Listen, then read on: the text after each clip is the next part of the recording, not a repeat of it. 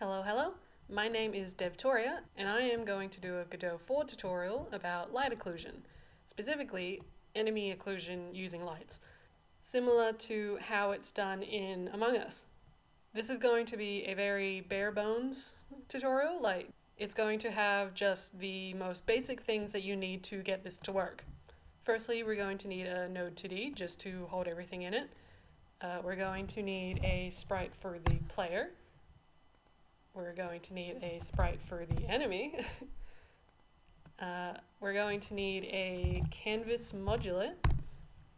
And we'll need a sprite for the background. Just going to rename these to make it easier to tell them apart. And background. So for the player, we'll use the Godot icon. For the enemy, we'll use the we'll use an icon that I made. and for the background, we'll use an Among Us background. So firstly, I'm going to add a script to our player just to make it a little easier to show the light. I'm going to make it so that the player sprite will follow the mouse position. This is just for prototyping purposes. Uh, you could do it any other way, but this, uh, this is just the quick way of how I'm going to do it.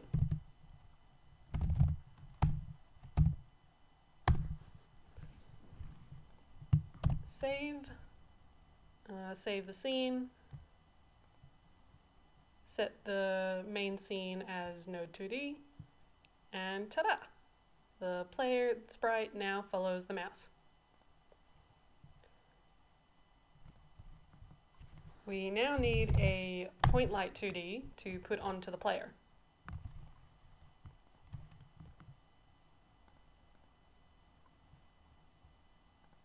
I like to use a gradient texture 2D for prototyping just because I can set it to be a circle and I don't have to worry about making a texture in like Photoshop or something.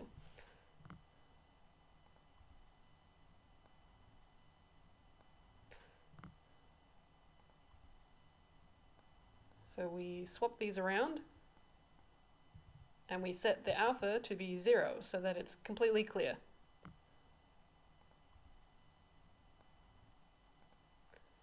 Uh, and now we have a circle light.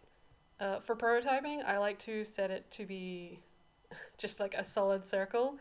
Um, it does have issues where you'll have this very ugly looking edge, but again, this is just for prototyping. Uh, we can reset the position to put it center the player. And yeah, now we have our light. Next, we can set the canvas modulate to be gray. Uh, you can set it to black, and that will make all the shadows black, but uh, Among Us has it see-through, so you can still see the backgrounds. Uh, which is why we set it to gray instead. You can set it to like be as light or as dark as you want. Now with the enemy, we'll set We'll, we'll go to visibility and we'll set his light mask to 2 and his visibility layer to 2 as well. This is because everything is already default to be layer 1 and we want specifically the enemies to disappear in the shadows. So we'll set these to 2. Uh, the next important step is to go to material and make a new canvas item material. In here, leave the blend mode to mix but set the light mode to light only. And he should have disappeared because now he'll only appear in the light. The next step we have to do is to make it so that the light will affect him. So we go back to our point light and we go down to range. Here we set the item cull mask to 2. For what I understand, it is culling the enemy's material. Uh, it, it's culling this material so that it will be affected by the light. Because currently this material is what's hiding it. And here it is. Uh, this also works in play mode. Hello.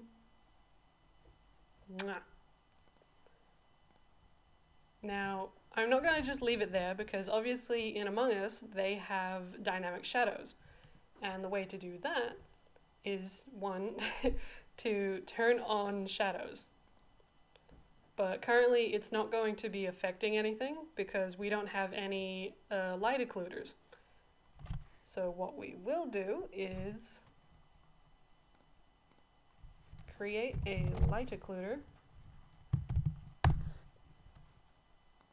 give it a polygon 2D, and now we can click anywhere and create polygons.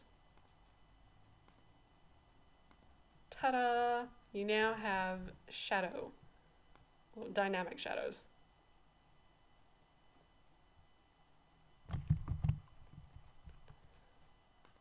Uh, you'll notice that the light occluder has darkened this area specifically. See, uh, so you compare it to the shadow of just the canvas modulate compared to the light occluded shadow, and it's noticeably darker. The way to fix this is to go to visibility, go to modulate, and set this the, and set the alpha to zero. it is still technically occluding light, it's still technically making the light go around it. It's just we can't see the occluder anymore. Um, you can also turn on the grid from here to make your polygon points more exact instead of the loosey-goosey way that I did it.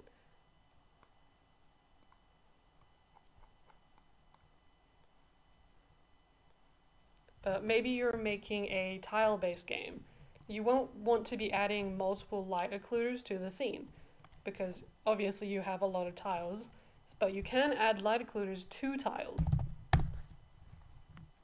So here we make a new tile set and we click the tile set and we go down to rendering. And from here we can add an occlusion layer. Now we go down to the bottom of the screen and click tile set once again, but the, a different tile set. and we add a uh, the icon for now. You can use um, an actual tile set, uh, but we add it so we can create a tile set. Now we go to paint, and here we can paint on our occlusion layer.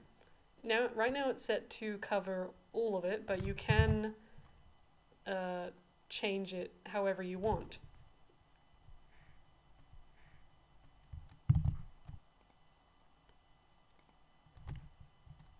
Now with this selected, you can paint your icon, you can paint your tile set.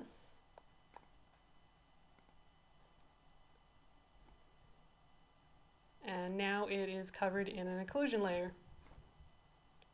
So we grab one of these and ta-da!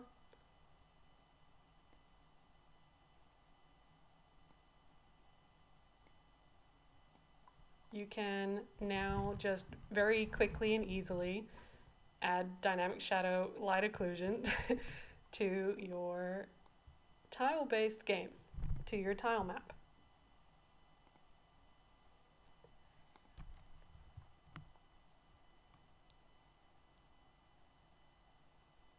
Now you might have noticed that the player is very washed out.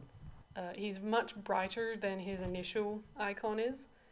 That is because the point light is set to add and as default and it's adding light to what's currently there.